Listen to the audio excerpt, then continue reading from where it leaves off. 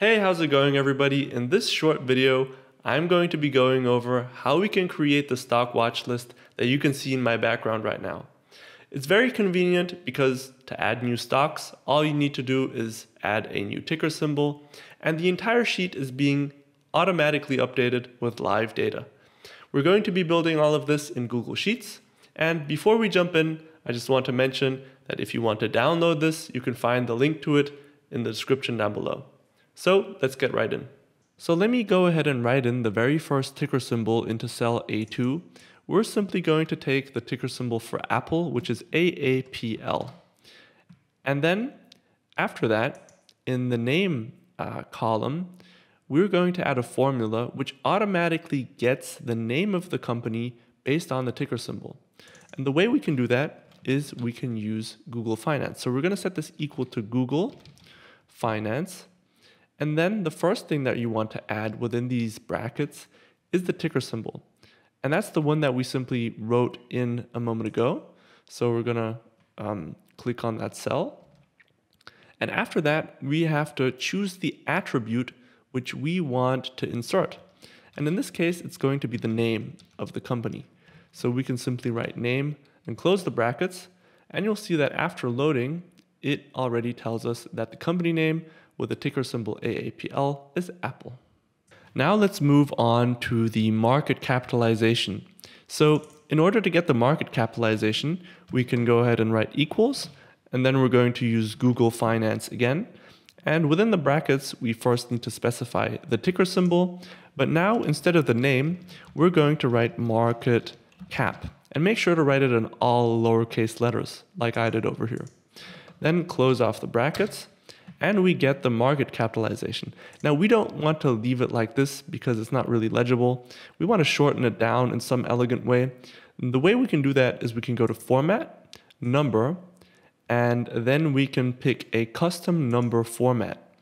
And I'm going to use this custom number format, which you can see over here. So let me go ahead and write hashtag, comma, hashtag, hashtag, zero, comma, comma, comma, and then in quotation marks, a space and a B. So the space and the B at the end is going to be um, the sign for billions. So if I go and press enter, you can see that it shortened down the market cap and now it looks a little bit more elegant. The next thing that we're going to do is we're going to insert a chart of the stock price over the past 10 years into this single cell over here, into D2.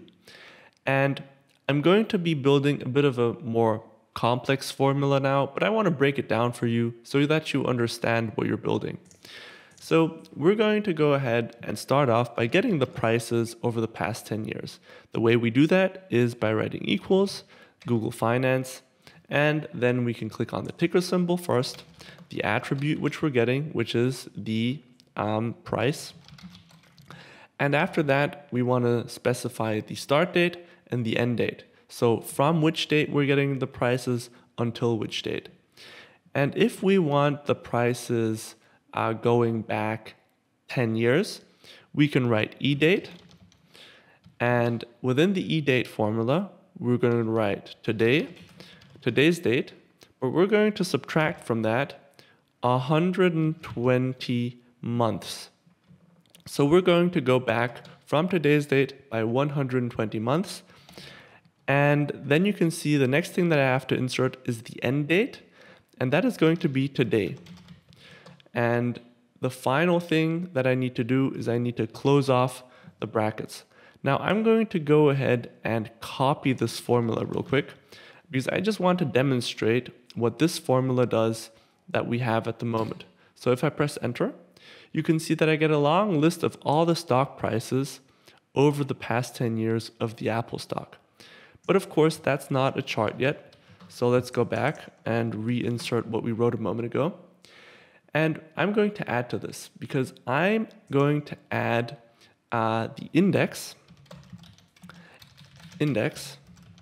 And what this does is it allows us to only choose one specific um, column. So a moment ago, you saw that we didn't only have the prices, we also had the dates but we don't need the dates. We only need the prices. So we're going to reduce that to only the prices by writing 2 over here. So by, by inserting these two commas in the 2, we're just saying, okay, we only want the second column and give us all the individual rows because we're leaving the row entry over here blank. So let me go ahead and copy this. And if I execute this, you can see that you have all the individual closing prices now. So the dates are now gone, which is nice. The next thing that we're going to do to our formula, which I'm pasting in right here, is that we're going to add the sparkline, which allows us to make these nice graphs. So I'm going to write sparkline, and then in brackets, I'm going to add one more thing, which is the way we want the chart to look. So we are going to add a couple of attributes into curly brackets. The first one is the chart type, type, and we want the chart type to be a column chart. So we're going to write column, next. Then we're going to add a semicolon because we're going to separ separate the individual attributes. And the second attribute is going to be the color. And we want it to be nice and green. All right, so now if I go ahead and add this within the appropriate cell, which is D2, you can see that we have this very nice small chart inserted into our cell D2.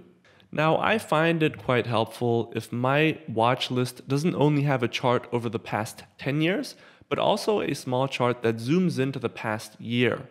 And the way we can accomplish this is by simply copying the formula that we created for the chart that shows us the 10 years, and we're going to simply paste it into the chart uh, one year column. Now we're going to make one small change to this uh, formula, which is we're going to change the number of months that we're going back over here. So you can see that this eDate formula over here is getting us a date which is 120 months in the past. Um, but now we only want 12 months in the past because we're only looking back one year. And if I press enter, you can see that we now have a stock chart that zooms in to the prices of the past year. Now let's move on and get the price of the Apple stock. So we can do that by writing equals Google Finance, then selecting the ticker symbol again, which is in the cell A2. And after that, we're going to get the price attribute. So we're going to write price in here and close the brackets. Now you can see that we have the price displaying. And just make sure that you have the price in the right format. So for me, this has automatically jumped into the right format because under number, I have selected the automatic format. Getting the currency is also pretty easy. All we need to write down is Google Finance, then select the ticker symbol again, and after that, we're getting the currency attribute, closing the brackets, and you can see it's US dollars. For the PE ratio, we're going to go to Google Finance again, select the ticker symbol as usual, and get the PE ratio by writing PE in quotation marks. And then we have the PE ratio. And the final easy one we have over here is the earnings per share. So Google Finance once again, select the ticker, and then you know how it goes. We write EPS in here, close the brackets, and we have the earnings per share. So that's how you get the price currency PE ratio and EPS.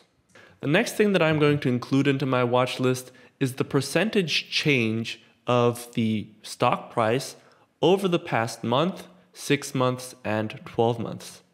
In order to calculate the percentage change of the price over the past month, all we need to do is we need to subtract the price from one month ago from the current price and then divide all that by the current price. Since we already have the current price over here in uh, cell F2, the only challenge that we face right now is that we need to get the price from one month ago.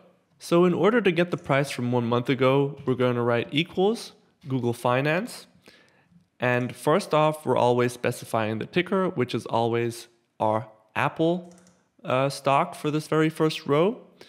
Afterwards, we need to choose the attribute we're getting, which is the price. Next up, we want to choose the um, date from which we want the price. So we are going to use eDate and we're going to look at the price of today, but then we want to subtract one month from that.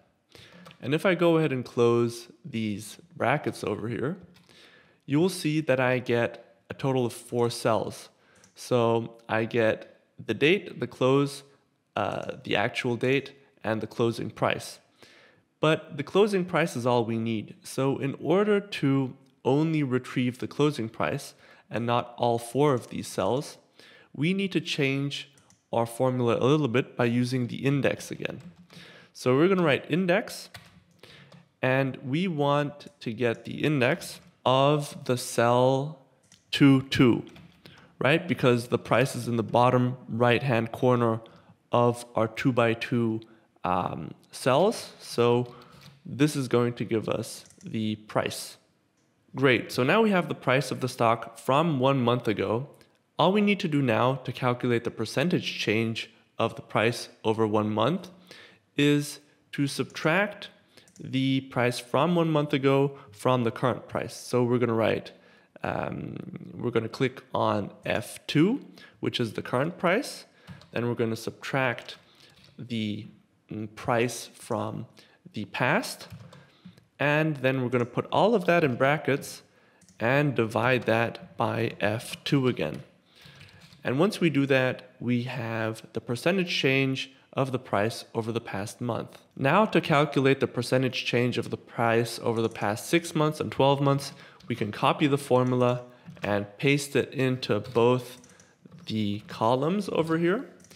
But now we need to make sure that we're subtracting the right number of months. So we need to change this 1 to a 6. And we need to change this minus 1 to a minus 12. And that gives us the percentage changes over the past month, 6 months, and 12 months. But since I'm not quite happy with the way this is displayed, I'm going to make it a little bit nicer by applying the format, number, and then the percentage.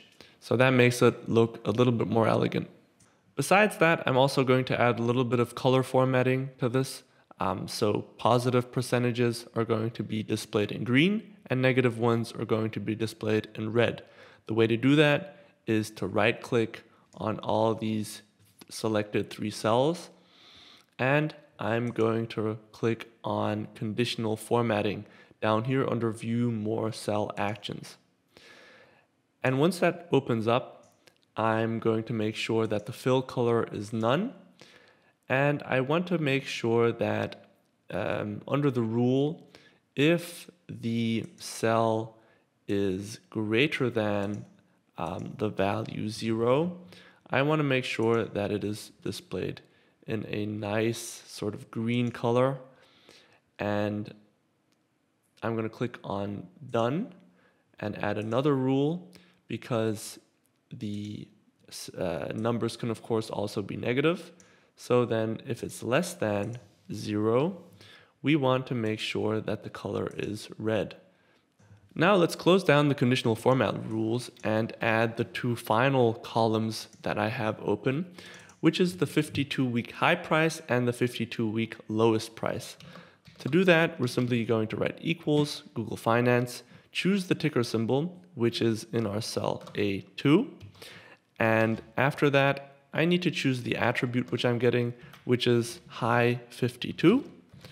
And that is going to give me the highest price over the past 52 weeks. To get the lowest price, we can proceed in a similar way, which is write equals Google Finance, choose the ticker symbol, which is A2 again, and the attribute is now going to be low 52 um, low 52. There we go. So now that we're done adding all the values, we can go ahead and add any number of stocks to our watch list that we want to. And all we have to do is simply write in the ticker symbol. So let's, for example, go ahead and add Microsoft which has the ticker symbol MSFT. And all we need to do now is highlight the cells um, to the right of the ticker symbol and drag them down by one. And you'll see now all the Microsoft specific information is being displayed in our watch list.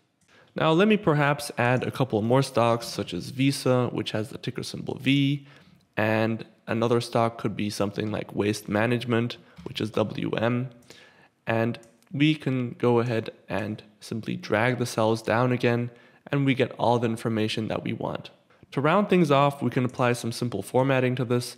So let's go ahead and highlight everything and align it to the uh, left-hand side and we can make it nice and bold.